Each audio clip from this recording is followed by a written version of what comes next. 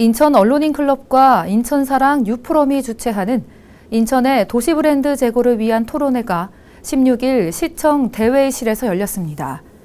김상훈 인하대 미디어 커뮤니케이션학과 교수가 좌장을 맡고 구자룡 밸류바인 대표와 하주용 인하대 교수가 발제자로 나섰습니다.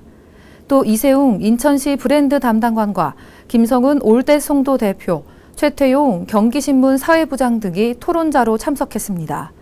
이번 토론회에서는 인천의 도시 이미지를 어떻게 만들고 홍보할 것인가를 놓고 함께 고민하고 논의하는 시간을 가졌습니다.